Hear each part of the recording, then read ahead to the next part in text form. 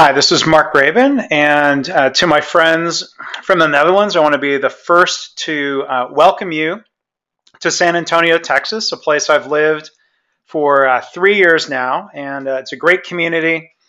we have uh, Toyota, we have a lot of healthcare providers.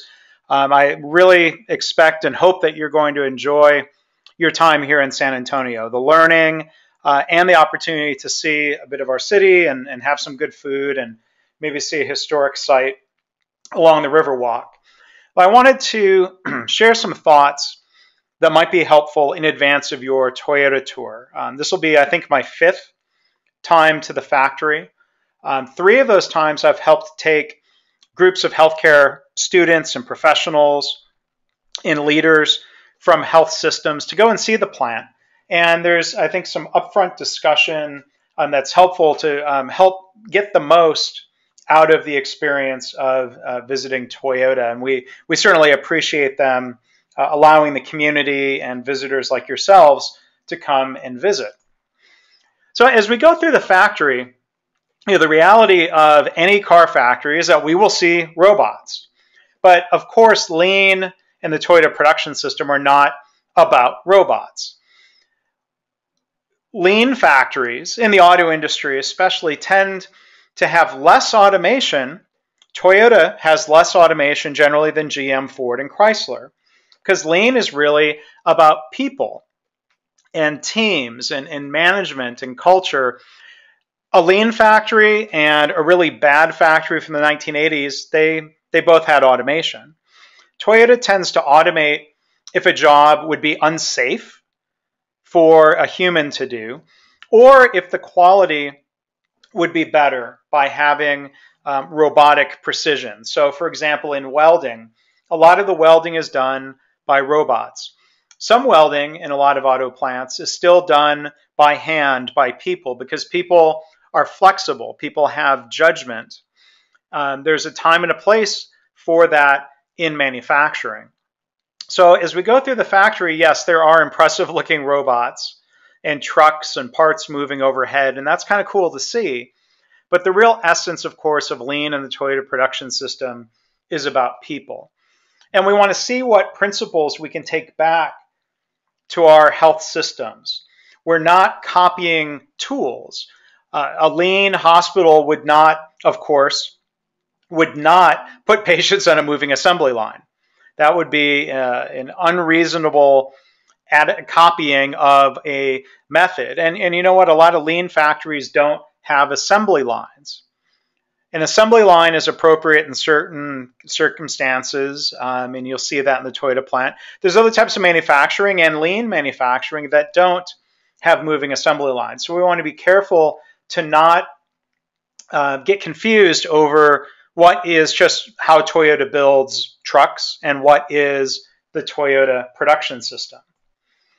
So when you go to the visitor center on site at Toyota before we get to the factory, they have displays about the Toyota production system. And one of the first words that you see when you walk in, of course, is the word Kaizen, the idea of continuous improvement. And it's a word that a lot of you may know this. It just basically means in English, good change. Now, Kaizen fits into what they display and explain as their Toyota Way management system. Taiichi Ohno, one of the founders of the Toyota production system, the originators and innovators, wrote in one of his books that these are equally important pillars continuous improvement or Kaizen, and the idea of respect for people, that these go hand in, they go hand in hand.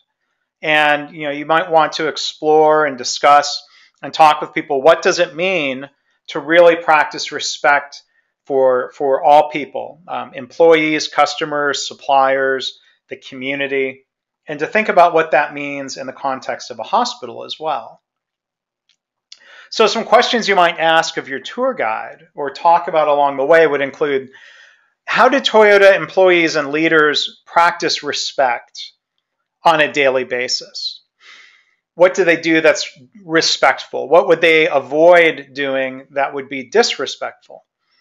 And I think you can try to look and see, you know, do the team members, do employees seem frantic or stressed? You know, how is the pace of the work? Because I, you know, I think one element of respect for people is that we don't overburden people. We don't expect them to work faster than they can. We don't want them to be uh, fatigued or overly stressed out. Now, sure, people are going to be busy, but there's you know a fine line of, of being busy and productive, but not being um, overloaded to where safety and quality would suffer, which uh, was something that, that we wouldn't want, of course, uh, to happen in a lean environment.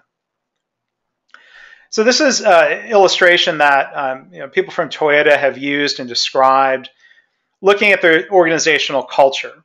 As they describe it, it's an integrated system. It's not just the tools, the technical methods, but it's also the underlying philosophy and the managerial system of Toyota that creates the Toyota way.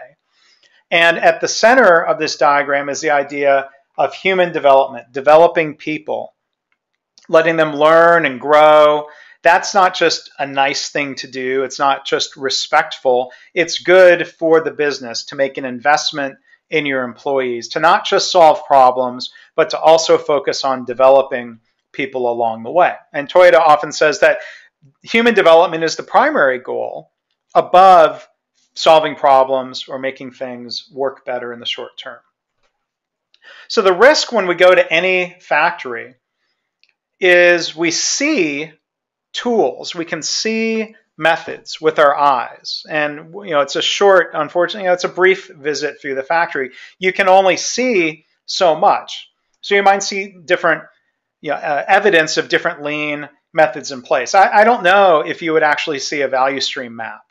That might be the one thing to, to look for or even ask about. Do they use that within Toyota factories or a version of what we would call a value stream map? When we visit a factory, the important things are beneath the surface of the iceberg. We can't see them above the water if we're in a plane or a boat or a helicopter.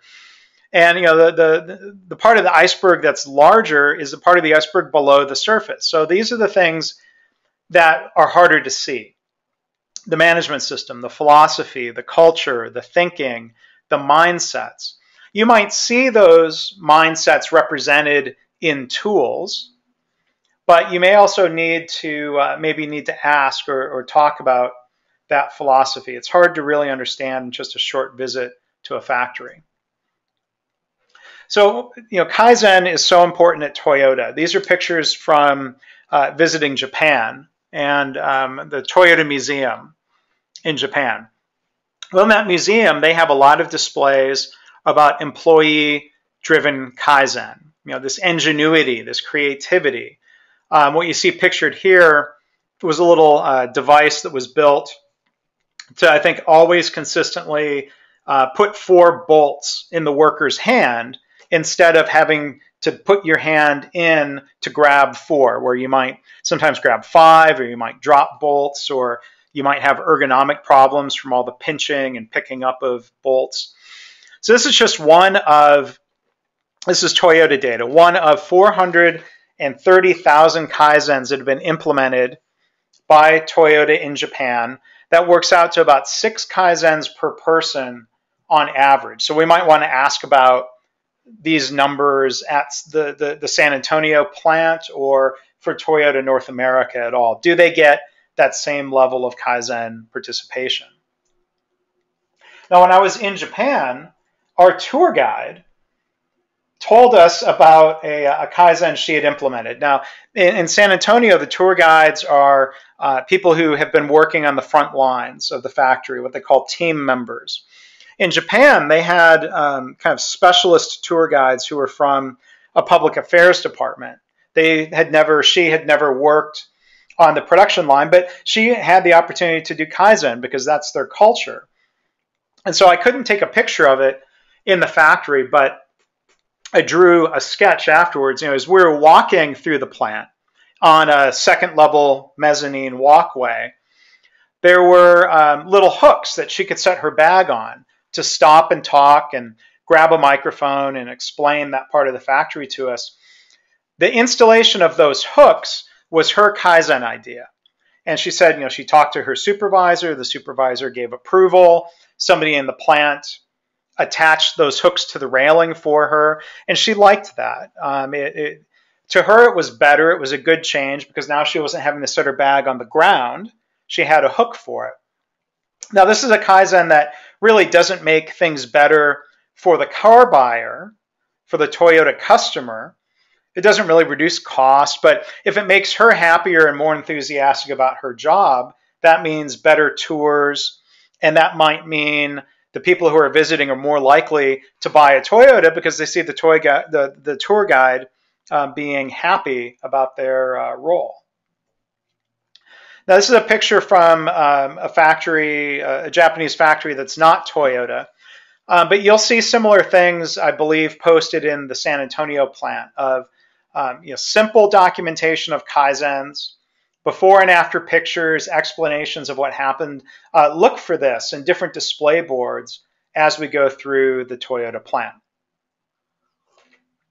So you might ask some questions. Um, how do you make time for people to work on Kaizen? People are busy building trucks. How do you make sure that people are able to work on their ideas and that people are listened to? What's the process? What happens if you have an idea? And maybe ask the tour guide if there's a specific Kaizen improvement that they are willing to talk about. Now, one of the other principles that's, that's critically important in lean and the Toyota production system is the idea of safety being a top priority. And not just having posters and slogans about safety, but really making it part of the culture. So as we walk into the factory, we're going to walk under a green archway that says something like you see on the slide here. That safe work is the door to all work. Let us always pass through this door first.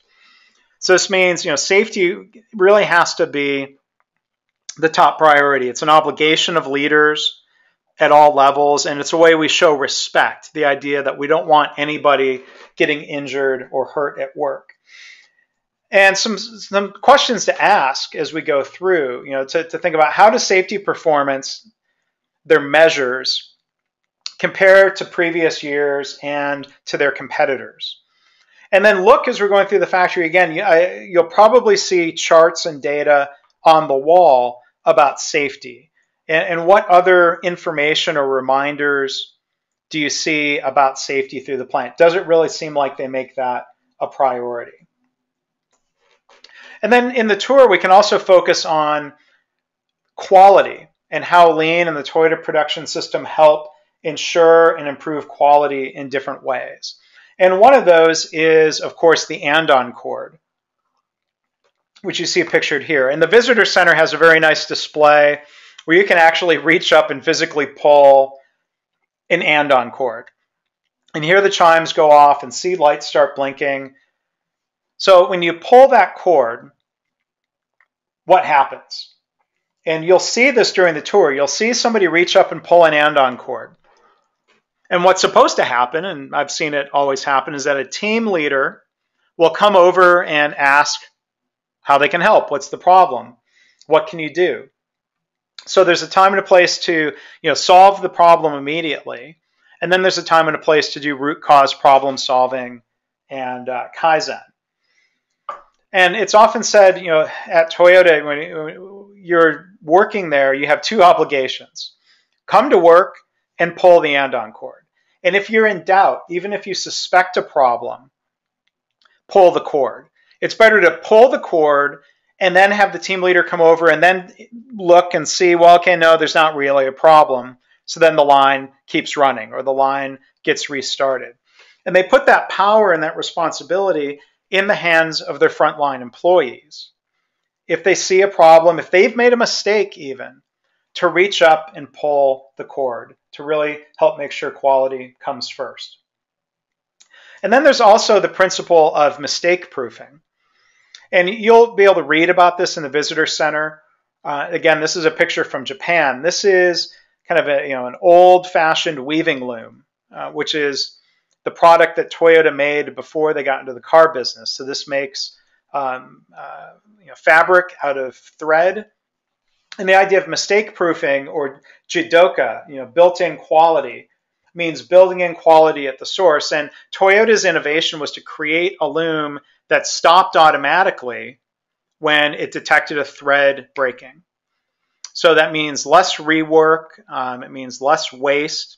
And this is part of the, the history of Toyota that's led to error proofing in uh, their factories and the way we practice error proofing in healthcare. So here's, here's a picture that shows, you know, if a cloth, uh, if the loom continues to run with a broken thread, you get a defect in the cloth, what, they, what describes here is a, a broken warp. Um, that's the defect they were trying to avoid and prevent. So this principle of jidoka means you know, equipment stops automatically if anything irregular occurs. You try to avoid ever producing defects, and that you don't make people watch over machines constantly. So before they had invented these uh, jidoka or poka-yoke error-proofing devices, each machine had to be attended by one person who is standing and watching in case something went wrong. So with the jidoka principle, one person could actually run multiple machines. So it not only improved quality, but it improved productivity for this automation that should be able to run on its own, and then it stops automatically. So there's a, another term that's used um, commonly, automation, which means uh, basically automation with a human touch, because it can react. The, uh, the, the equipment, the machinery uh, can stop automatically, and that's how we build in quality. So a couple other points on things we'll see in the tour. One is what you call point of use supplies or Kanban systems. The idea that you have what you need, when you need it, where you need it, in the right quantity. So some of the parts, and it's a little bit different in this toy in the, the plant here in Texas than it is in some others. In some factories, all of the parts were on racks, what they call uh, line side. But they also have what they call a kit. And this is explained in the visitor center a kit of parts, a cart that rolls along with the vehicle. Um, so, you know, they have different approaches and they improve and, and change the way they do things over time, which is great.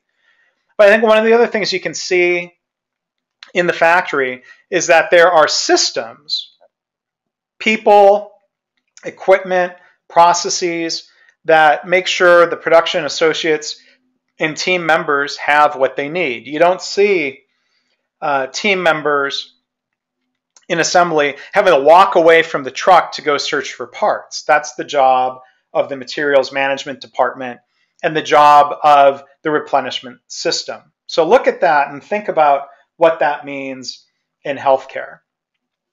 So you might ask, you know, what percentage of employees are there to provide support in materials or other areas for the production workers, the team members. And you know, think about the leadership structure. How many employees does the average team leader or group leader have working for them? So when that team leader needs to respond to andon cords, they can only walk so far. So that that scope of, of their leadership might be interesting to ask about. How many team leaders report to team managers? um, that, that next group leaders. Group leaders is the level above team leader. Now, as you go through the plant, you're also going to see something that Toyota calls FMDS boards, which stands for Floor Management Development System. And they tend to post uh, performance metrics and goals and improvement initiatives under five categories safety, quality, delivery, cost, and morale. And I think you know, it's really instructive to, to think about the name. It's not called the performance tracking system or the performance improvement system. It's called the floor management development system. The goal is to develop their managers on the floor to become better leaders, to become better problem solvers. And, and I think that's a great illustration of putting human development in the middle of what they do. So look look for these boards as you go through the plant. Sometimes as you're going through, they'll be pointing out things on the assembly line to the left. If you look to the right is where you might see these different boards. So, you know, the, the key philosophy at Toyota is the idea of developing people before building cars. And uh, we, you know, you can see if they mention that or um, to ask about what that means. And so, you know, we can think about in terms of safety and quality and other data, what information is being shared with employees and how much openness and transparency is there or does there appear to be within the factory. Then the final point I want to cover is the, the Toyota philosophy on uh, lean uh, or just you know Toyota's business methods and layoffs. So a growing number of hospitals in the United States have some form of what we call no layoffs due to lean policies or philosophies. Um, ThedaCare is one of those organizations. So when you're at the summit later this week, you can talk to people about how they use lean as an alternative um, to layoffs. There are far uh, better, more constructive, less harmful ways of reducing cost in healthcare. We can improve safety and improve quality, which leads to lower costs. When we lay off people, that, that leads to a, a lot of uh, disgruntlement. People might be overburdened. That might hurt quality and safety. And so back in 2011, you might remember um, the, uh, the earthquake and the tsunami that hit Japan. And there was a auto supplier in Japan um, that was not able to continue production because of damage um, that, that was suffered in the, in the earthquake. So what happened at factories in the United States? Well, General Motors was a customer of that plant. And as you see from the news here, you know, GM was temporarily laying off workers at a New York engine plant because of the earthquake. Well, Toyota used that same supplier. They had the same part shortages. What did they do? This is an article from Canada. Um, same time frame, same cause. Officials say there will be no layoffs. Now it says here we anticipate some non-production days, meaning some days they wouldn't be able to build any cars. But what are the alternatives to laying people off? You pay people for training. You pay them to work on Kaizen and continuous improvement.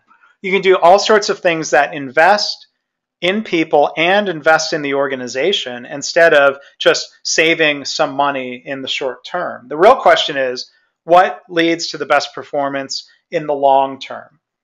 So you might be able to ask, what do you do if a line breaks down three hours before the end of the shift?